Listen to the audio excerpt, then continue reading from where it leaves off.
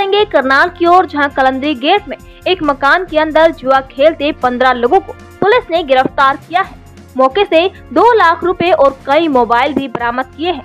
वहीं पकड़े गए सभी जुआरी अच्छे घरों से संबंध रखते हैं। आपको बता दें, एसएचओ वीरेंद्र सिंह ने बताया कि गुरमीत उफ लड्डू करनाल के कलंदरी गेट में स्थित अपने मकान में कई लोगों को जुआ खिलाता था।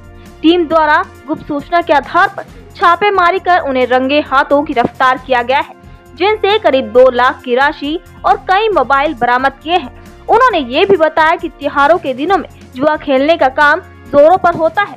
इसी कड़ी के आधार पर पुलिस ने ये कार्यवाही की और आज कोर्ट में सभी को पेश कर आगे की कार्यवाही की जाएगी। रात को लेट नाइट में हमें इंफॉर्मेशन मिली थी भाई कुलंदरी गेट में एक अपना अपना लड्डू लड्डू नाम करके आदमी है जो अपने घर के अंदर जो ना लोगों को बैठा के जुआ खिला रहे हैं। जो इन्फॉर्मेशन पे हमने पार्टी अपनी रेडिंग पार्टियाँ तैयार की और इसके मकान में रेड गिरा।